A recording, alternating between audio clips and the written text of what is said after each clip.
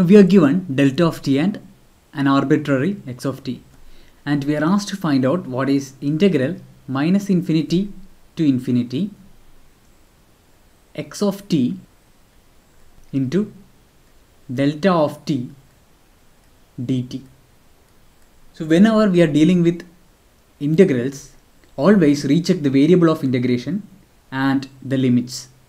In this case, the variable of integration is t. Now let's solve this.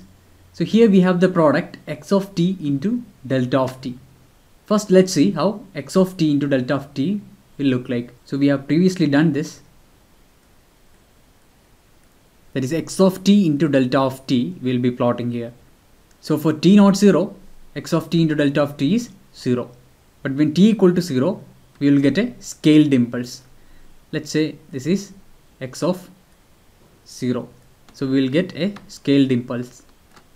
So we will get x of 0 into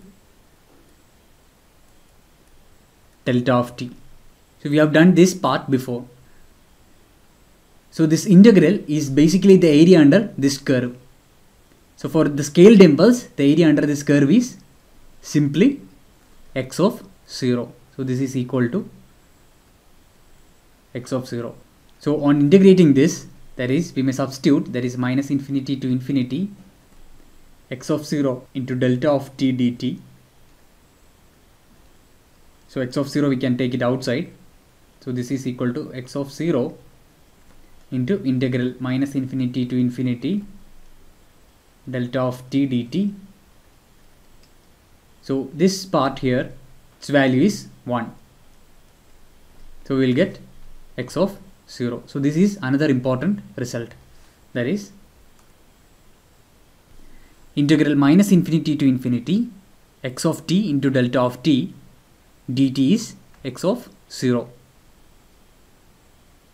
Now in the next example we will see what happens when we multiply x of t with a delayed impulse. We are given delta of t minus t naught that is the shifted version of impulse function.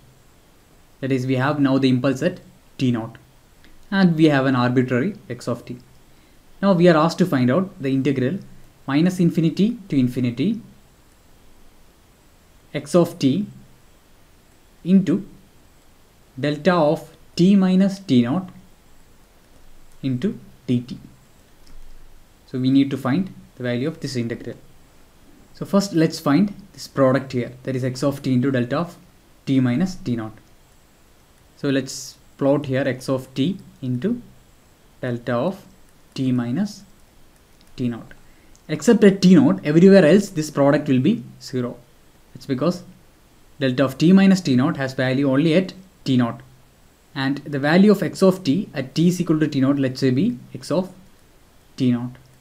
So what we get here will be a scaled impulse at t naught an amplitude scaling factor of x of t naught. So we may write this as x of t naught into delta of t minus t naught and the area of integration includes from minus infinity to plus infinity. So the value of this integral will be x of t naught. Now if you are not sure you can try integrating this.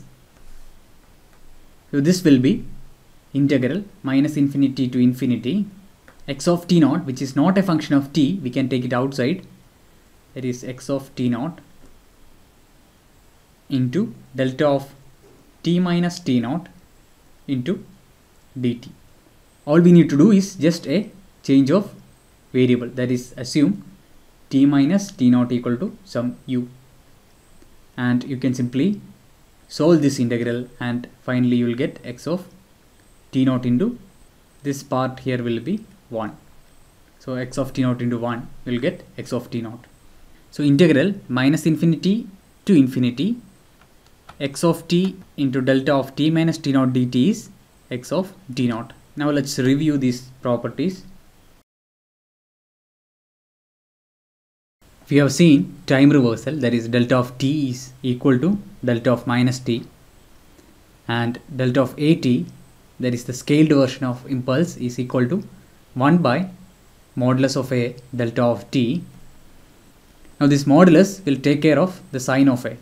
Then we have seen that when we multiply a signal with impulse we will get a scaled impulse.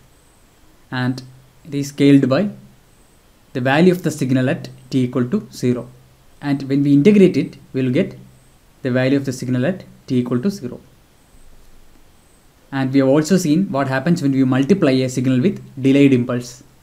So we will get the delayed impulse scaled by the value of the signal at t is equal to t naught. And when we integrate it we will get x of t naught. Now these are some of the important properties. And always remember to recheck the variable of integration. Try proving that u of t can also be defined as integral 0 to infinity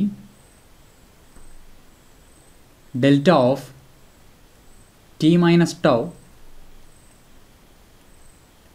d tau